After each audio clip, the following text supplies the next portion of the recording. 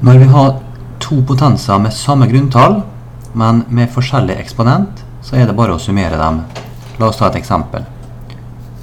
7 i tredje ganger 7 i andre.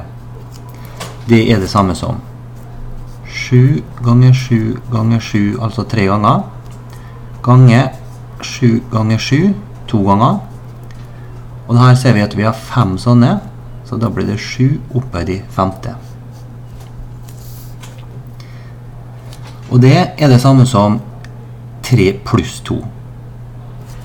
Så når vi ganger to grunntall på den måten her med to forskjellige eksponenter, så er det bare å summere eksponentene, ikke gange.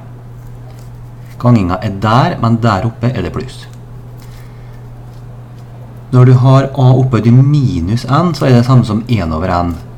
Og det kan vi bare se på et eksempel. 7 i minus tredje, det er det samme som 1 over 7 i tredje.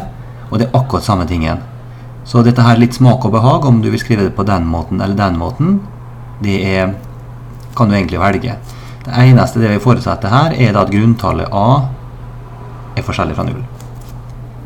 Så om vi har altså a i mt delt på a i nt, så er det, ser vi, det samme som å trekke fra.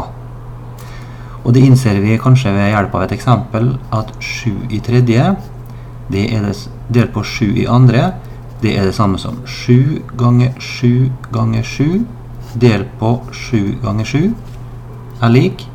Og fordi at det er gange mellom her, og bare da, fordi at det er gange mellom her, så kan vi stryke den mot den, og den mot den, og vi står igjen med 7 i første, eller bare 7 om du vil. Og det er det samme som 3 minus 2. Når du har 7 i tredje og opphøyer det i andre, når begge to er der oppe, da er det samme som 7 ganger 7 ganger 7. Og det skal gjøres to ganger. 7 ganger 7 ganger 7. Og det er det samme som 3 der og 3 der, og det blir 6. Altså 3 ganger 2. Mens her her var det 3 pluss 2. Legg merke til den forskjellen. For her ser vi at begge eksponentene er i samme eksponent, mens her de, har de egne grunntall. Der har den treeren et eget grunntall 7, og har toeren et eget grunntall også 7. Men her ser du at de har liksom samme grunntallet, og da er det altså ganging. Så om vi har f.eks. 7 ganger 9 opphøyd i tredje, så er det samme som å ta 7 i tredje ganger 9 i tredje. Og her, hvis vi tar denne, så kan vi f.eks. ta 7 delt på 9 i tredje. Så er det det samme som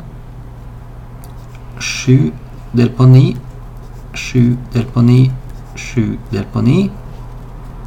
Og det er lik 7 i tredje delt på 9 i tredje. Og da ser vi da at vi kan ta bare en n på hver enkelt av dem. Husk også på det som står helt nederst her, at f.eks. 7 i nullte er lik 1. 9 i nullte er lik 1. 5738 i nullte er lik 1. Med andre ord en vilkårlig grunntall i nullte er lik 1. Husk også på at hvis vi skriver f.eks. 7, så betyr det altså 7 i første. Men da skriver vi ikke en eneren. Når det står bare 7 uten noe som helst, så betyr det en ener underforstått.